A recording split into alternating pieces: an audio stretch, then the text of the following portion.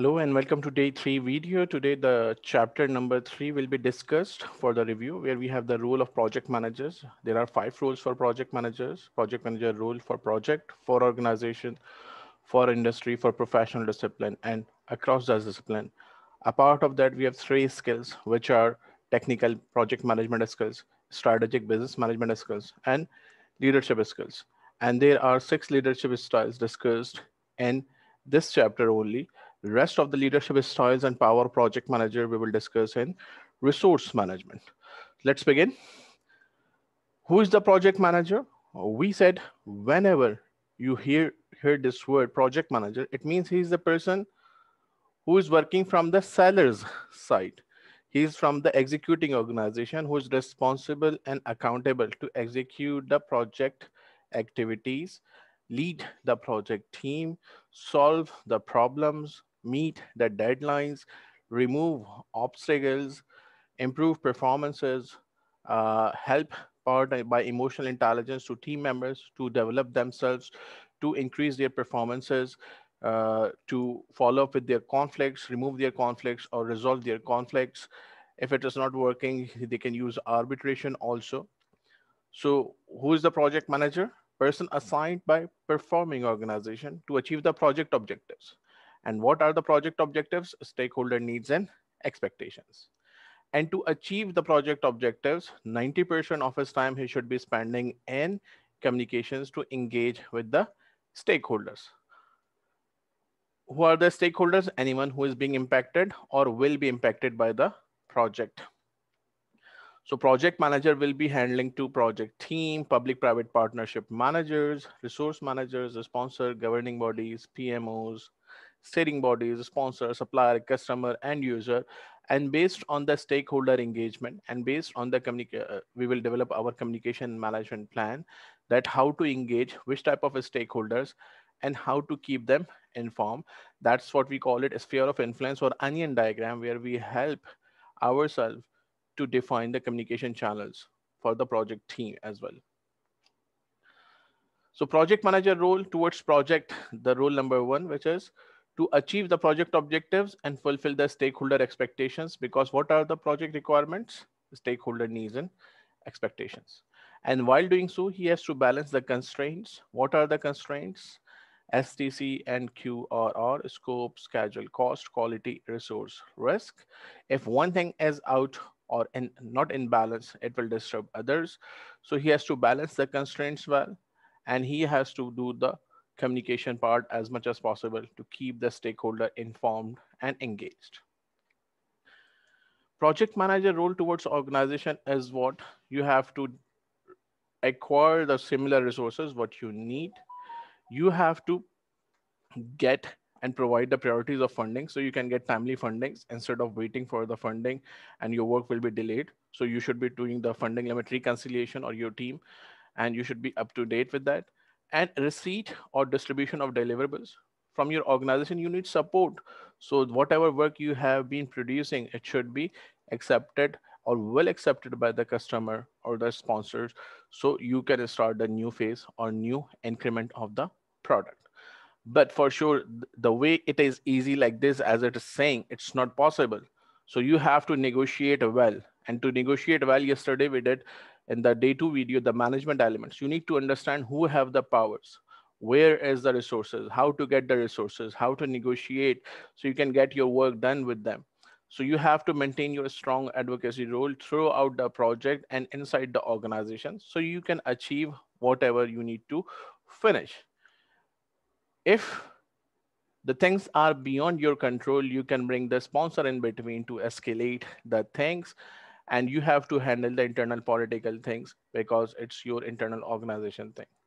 So your role towards organization you have to negotiate for resources priorities of funding and your organization support for receipt and distribution of deliverables. Your role towards industry is keep yourself updated with the modern information whatever new technologies new softwares market niches what is happening what is current trend what is going to be you should be updated about it so you can make the better decision making you can do the problem solving in much better way than others so that's what pmi is expecting for you that you should be motivating yourself to keep yourself updated with the modern information or in case of any revisions in the standards or in the policies or market conditions or competitors analysis, SWOT analysis, you should be aware about it. Your role towards professional discipline is you have to keep yourself updated. And once you get yourself updated, transfer the knowledge to your project managers and also to your peers. So all those project managers who are working in your organization, if you have learned something new, share the knowledge with them so they can also learn beside you. Your role towards across the discipline is not only with the project managers, you have to share the knowledge with your team members also. So along with your team, you are growing, not only you are growing. PMI has provided us this triangle, technical project management skills that you should have those skills. Otherwise, there is no benefit. Like if uh, you are the IT guy and I have given you a construction project, you know nothing about it and your team will keep fooling you around. I can give you some electrical projects, but up to an extent. So you should be aware about the work you are undertaking. So you can solve the problem, you can complete the targets on time. Leadership, there are so many things to remember about leadership, but if you remember three words, what they are, guide, motivate, and lead.